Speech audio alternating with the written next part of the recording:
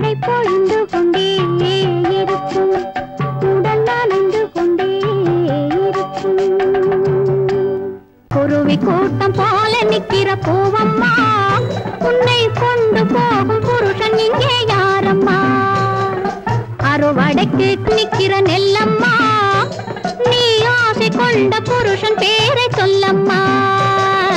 குருவி கூட்டம் போல நிற்கிற பூவம்மா राम